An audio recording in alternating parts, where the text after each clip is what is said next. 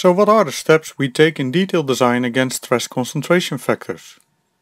First, we have to assure that all sharp notches and corners are rounded on drawings. Sharp notches mean by definition high stress concentration factors. Second, we have to maximize fillet and bend radii as much as possible. The larger the radius, the lower the stress concentration. The fillets illustrated here on the right hand side illustrate that the improvements can be made in several ways.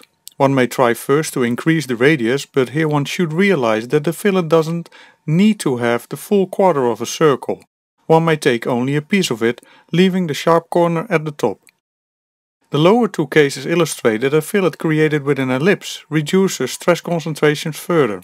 Now in practice, a sharp corner illustrated here on the left can be made smooth by adding a slope on a 45 degree angle. If we then add another slope half of that angle, starting halfway from the first slope and repeating that several times, one automatically creates a smooth transition with a low stress concentration factor. The third step is to avoid squared holes. Ellipses are better, and if necessary one may try rounded squared holes, but then take the radius as large as possible. Keep in mind that the windows of the aerial direction finder in the Comet aircraft were windows who were too squared. 4. Avoid feathered edges. The local load introduction by bolts are transferred into the component, which in combination with the radii imposes a big stress concentration factor. Instead, one should consider a continuous ring, avoiding these radii. 5. Avoid superposition of stress concentrations. As we have seen in a previous video, stress concentration factors rapidly increase when notches are superimposed. So for the example of the lug, the drainage hole should be located as far away as possible from the stress concentration. Here three solutions are given which all have their advantages and disadvantages. Either way, they should be preferred over the one with the drainage hole left or right. Depending on the location, one may consider beefing up the lug geometry simply to reduce the stresses somewhat further. Last, pay attention to the surface. Rough surfaces or surface markings created by machining for example easily increase stress concentration factors resulting in fatigue crack initiation.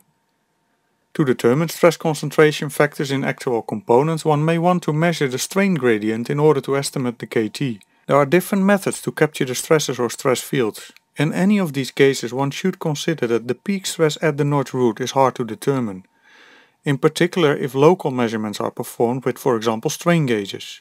If one takes two or three strain gauges, one may approximate the gradient and extrapolate it towards the notch edge to estimate KT. But even with strain field measurements, stress gradient extrapolation towards the edges are required. Similarly, one has to consider that finite element analyses often give stresses which are calculated by interpolation within an element, which means that it does not represent the peak stress at the notch root surface itself.